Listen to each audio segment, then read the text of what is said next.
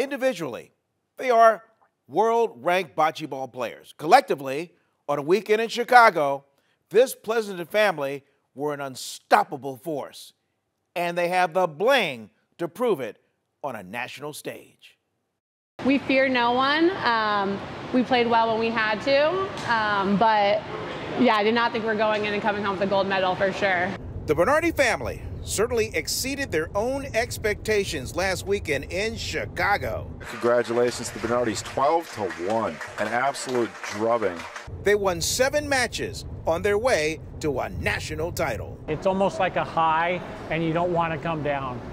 So um, I, I just, I just love it. I don't know if we'll ever get back to that or not, but, but I'm not giving this back. I know that for sure. Dario was joined by his daughter Navina, son Joey, and longtime friend Paulo. With his wife, Natalina, cheering them on.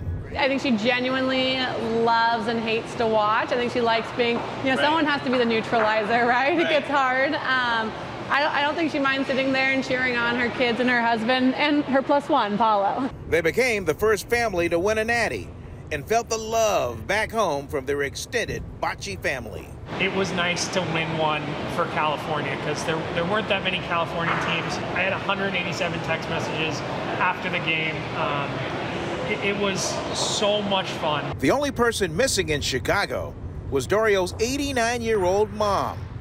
But Joey set up her computer before he left so she could watch every roll.